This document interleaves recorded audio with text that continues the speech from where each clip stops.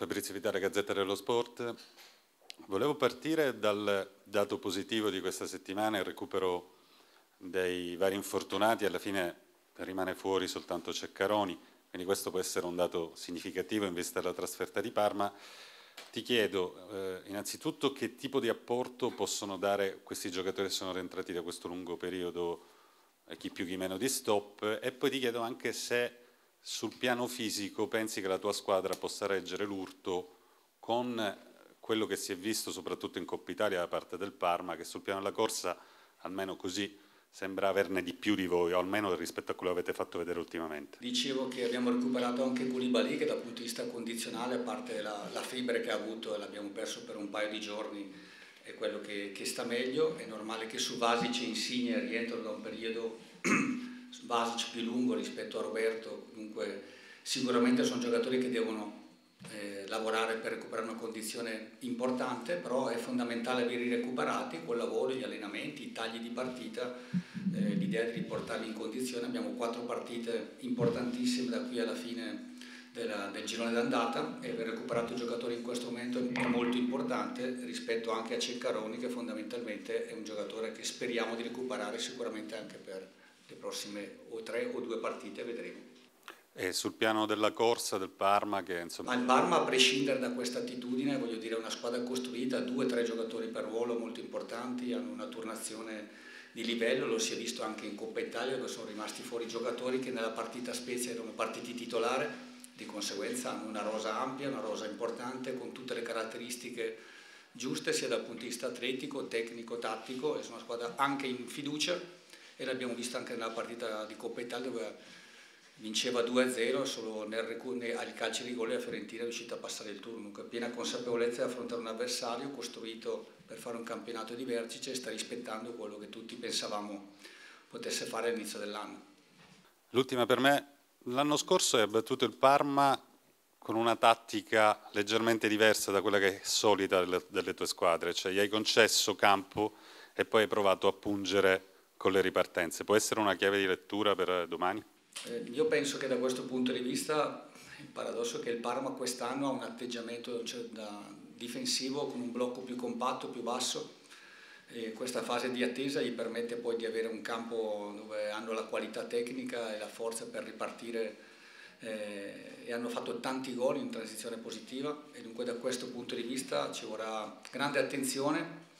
dal punto di vista del non possesso, con un blocco che sia forte, compatto, che difenda bene insieme, dove non possiamo permetterci un giocatore che non partecipi alla fase di non possesso, capire noi quando potremo recuperando la palla avere degli spazi per andare a contrattaccare velocemente e altrettanto quando il campo si allungherà avere la capacità di controllare il gioco per non permettere che su un campo aperto loro su una riconquista basta veramente un passaggio o un uno contro uno laterale possono diventare molto pericolosi.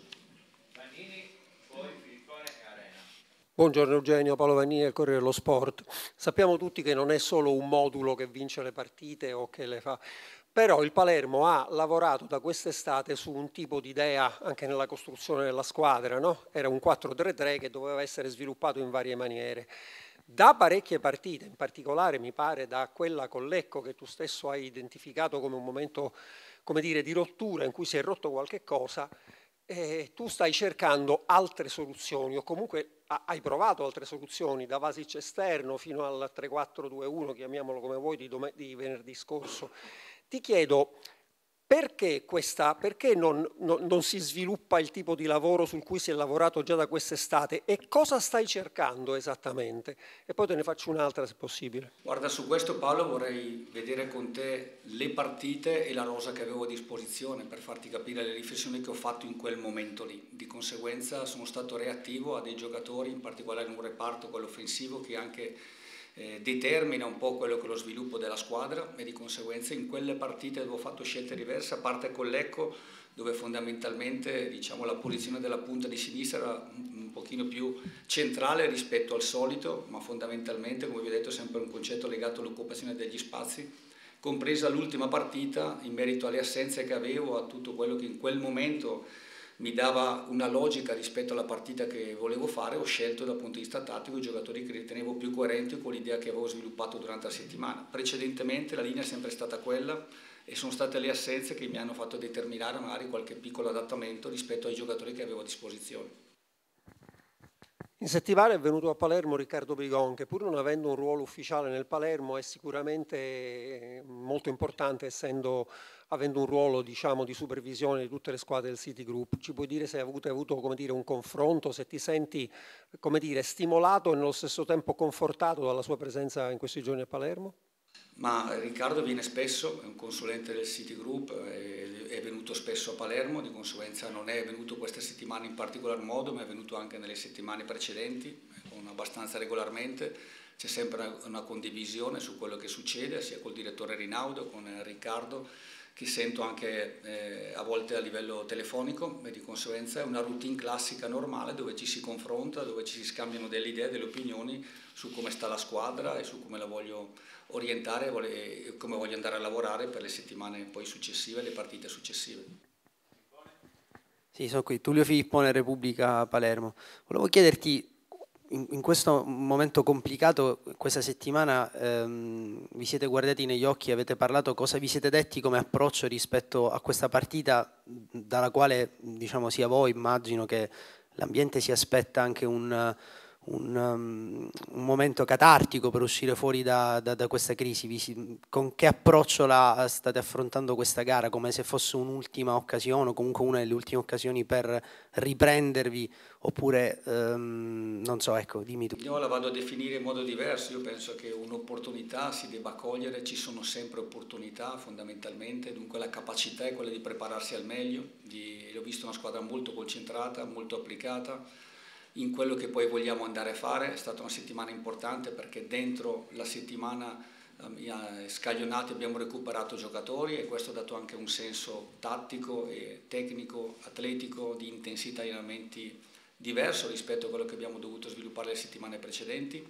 e tutto questo per me è qualcosa in più che mettiamo dentro, quella volontà di fare una grande partita. Abbiamo sempre rispettato tutti, tutti gli avversari, come rispettiamo il Parma, ma sappiamo anche di avere delle qualità, delle caratteristiche e penso che la partita successiva sia sempre una grande opportunità e metteremo in campo il meglio per provare a fare risultato. Purtroppo nelle ultime settimane questo risultato è venuto poche volte e la grande volontà è quella di far sì che anche in una partita complicata e difficile con un avversario molto forte possa succedere. E ci siamo preparati da questo punto di vista per fare una bella partita e cercare di portare a casa un risultato positivo. E poi volevo chiederti un'altra cosa, riguardo al centrocampo eh, ci dobbiamo aspettare un, un, un rilancio di, di, di Stulas dal, dal, primo minuto per cercare un po'... È una valutazione che sto facendo, eh, devo lavorare bene sulle caratteristiche che abbiamo, su come voglio comporre il tridente d'attacco, su come voglio lavorare a centrocampo, rispetto al fatto che quando il campo si allunga loro in transizione sono molto forti, molto capaci.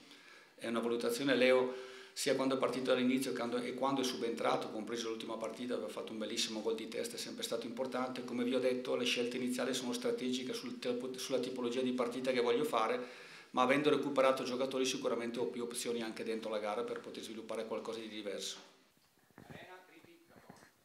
Salve mister, Alessandro Arena, giornale di Sicilia, sono qui. Io volevo un attimino riagganciarmi alla questione del modulo. Eh. Ci ha molto colpito quello che lei ha utilizzato contro il Catanzaro. Le volevo chiedere intanto se era una scelta preventivata o di fatto, ha risposto in parte prima, si è resa necessaria per l'assenza all'ultimo minuto di Koulibaly. E poi dall'altro lato le volevo chiedere se le è piaciuto e se c'è una possibilità, a maggior ragione visto, come diceva prima, le condizioni di Insigne, di poterlo rivedere anche domani. Grazie. È stata una valutazione strategica fatta su quello che avevamo a disposizione, compreso Koulibaly, che abbiamo perso solo la mattina della partita perché volevamo essere molto aggressivi sui cinque costruttori del Catanzaro e volevamo avere una copertura dell'ampiezza fatta con i giocatori che avevo a disposizione che dal punto di vista condizionale fossero più pronti rispetto a, quello che avevo a disposizione. E dunque l'abbiamo preparata da inizio settimana in, in, come l'avete vista. Beh, certo è mancato un centrocampista in più che potevamo partire dall'inizio subentrare come Koulibaly però voglio dire è stata preparata e pensata in quel modo per i giocatori che in quel momento avevo a disposizione soprattutto chi per me poteva iniziando la partita eventualmente garantirmi 90 minuti. Ma io penso che adesso avendo recuperato giocatori il concetto del 4-3-3 che spesso si sviluppa in 2-3-1 a seconda del possesso o non possesso sia la nostra identità e su quello continueremo a lavorare. Ciao Eugenio Valerio Tripi, agenzia ANSA, sono qua, ho tagliato i capelli. Eh, tra i giocatori che sono stati un po' più criticati rispetto agli altri c'è Matteo. Ti volevo chiedere se eh, questo tema è entrato nelle preparazioni delle ultime partite, tra di voi, un confronto, se c'è stato bisogno di dire qualcosa al ragazzo, grazie. Sai, io penso che su Alex probabilmente il fatto che è un giocatore che io ho già avuto il milione della critica forse è ancora più centrato su di lui in questo momento, è un giocatore che per caratteristiche nel ruolo è stato l'unico che abbiamo avuto a disposizione con l'infortunio di Butto all'inizio campionato perché grave se un centrale che si può adattare eh, Alessio è rientrato da poco, ha giocato un taglio di partita a Terni, ha giocato in un ruolo leggermente diverso che aveva già sviluppato l'anno scorso e dunque con un concetto di una linea 4 eh, e quello che in questo momento mi può dare è Alex per me è un giocatore importante perché fondamentalmente non abbiamo avuto Buttaro e devo adattare un centrale e fare il laterale basso quando invece per me lui ha le caratteristiche giuste per poterlo sviluppare. Buongiorno Eugenio, Marco Capone, Palermo Today. Eh, mi riallaccio alla componente emotiva citata da Tullio Filippone perché dopo la partita contro il Catanzaro Marconi ci ha detto che questa sfida di Parma può anche essere una svolta qualora andasse in maniera positiva per noi e lui ha detto dobbiamo isolarci da tutto e da tutti. Ti chiedo se in questa settimana ci siete riusciti e poi una domanda su Soleri, un recupero importante, anche rapido, eh, come l'hai visto in settimana? Grazie. Eh, Ivan ha espresso quello che è stata sempre la volontà di questo gruppo, che è sempre stato reattivo, sia quando le cose andavano bene che quando purtroppo nell'ultimo periodo non stanno andando bene. Abbiamo sempre la voglia di poter attraverso il lavoro migliorarci e far sì che la partita successiva possa essere una partita importante. Io difficilmente parlo, parlo di partite della svolta, ma ci sono dentro il campionato partite significative, sicuramente questa di Parma lo è e dobbiamo fare una prestazione di un certo tipo, lo vogliamo fare con, perché la squadra si è dedicata molto intensamente sia dal punto di vista emotivo, mentale, dal punto di vista tecnico-tattico nell'applicazione e vogliamo farlo vedere in campo e questo vuol dire quanto è solido questo gruppo e quanto insieme voglio uscire da questo momento di, di difficoltà. Rispetto a Sole è stato un giocatore che è rientrato eh, prima rispetto agli altri che mh, più alla settimana andava avanti e rientravano, ha fatto due tagli d'allenamento eh, ridotti, però l'ho visto bene, l'ho visto mobile, l'ho visto reattivo, di conseguenza è un giocatore sicuramente recuperato. Eh, sì. Buongiorno mister Cettina Pellitteri, Azzurra News. A proposito del clima un po' incandescente, lei è stato uno dei capitani più amati del Palermo, ma anche come tecnico eh, nel 2017 tutto il popolo rosanero lo difese contro Zamparini, insomma quelle bordate. Alla luce di questa contestazione che è evidente, ecco lei dove trova la forza mentale per andare avanti e soprattutto le volevo chiedere se lei vorrebbe cambiare qualcosa nella comunicazione post gara e cosa vuole dire ai tifosi, soprattutto ai 1700 che nonostante nonostante tutto saranno al Tardini. Grazie. Guarda, eh, io penso che una persona viva di sogni, di ambizioni, no? e questo quando tu li hai nel tuo cuore nessuno te li può rubare. Io mi rendo conto della situazione, eh, rappresento e svolgo un ruolo che è altamente criticato sempre, mi rendo conto che in questo momento lo è molto di più, ma penso sempre dentro che attraverso il lavoro di poter far sì che questo possa cambiare e dunque io sento l'energia per quello che è l'obiettivo che mi ha dato la società e le caratteristiche dei miei giocatori che attraverso il lavoro questa cosa possa cambiare. A volte tenere duro è un aspetto fondamentale e di conseguenza la lucidità, la volontà, la voglia di, di andare avanti c'è perché la sento, la sento come energia e non potrei mai perdonarmi il fatto di non averci provato sino in fondo. E siccome sento questa energia e sento anche che oggi chi giustamente mi contesta perché avrà le ragioni per farlo, penso anche che se la squadra possa svoltare potrà dire ha fatto un lavoro di un certo tipo, dunque i miei sogni non li può rubare nessuno, sento l'energia per portarli avanti, sento questa squadra dentro di me e di conseguenza ho avuto la fortuna di essere amato, in questo momento sono più contestato, fa parte di questo, però il rispetto c'è sempre stato, io svolgo la mia professione al meglio di quello che posso fare, sento l'energia per farlo, sento l'appoggio dei miei giocatori che è l'aspetto fondamentale attraverso il lavoro nel tempo per l'obiettivo che mi ha dato la società penso di avere le, le qualità per portare questa squadra dove tutti vogliamo eh, portarla. Rispetto alla comunicazione io rispondo alle domande che mi fate, se mi fate una domanda tattica io cerco di darvi la mia visione tattica, giusta o sbagliata che sia, ognuno poi fa la propria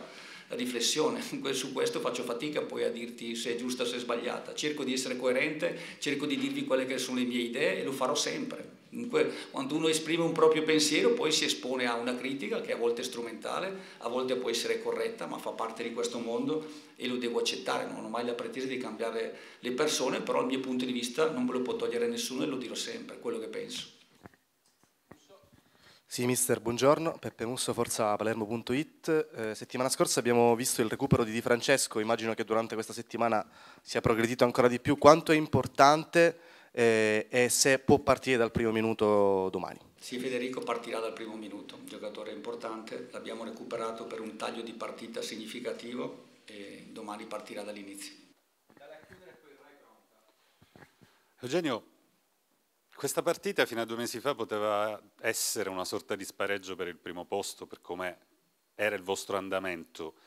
Quanta rabbia c'è in voi, quanto fastidio c'è in voi doverla affrontare da ottavi e quanto rammarico c'è? C'è la volontà di scalare la classifica. Prima lavoravamo per mantenerla, adesso dobbiamo eh, eh alimentarla per scalarla, per tornare in queste posizioni che avevamo all'inizio dell'anno o comunque a ridosso delle prime due che in questo momento stanno creando un piccolo solco e dunque un'opportunità, ormai quello che è stato è stato, dobbiamo essere reattivi rispetto a quello che è successo, con la volontà di capire bene e delineare il percorso che dobbiamo fare e dobbiamo farlo pensando una gara per, uh, per volta. Sicuramente oggi la classifica dice questo e dobbiamo far sì che questo ottavo posto diventi qualcosa di meglio attraverso una grande prestazione e un risultato importante che vogliamo fare a Parma. Grazie.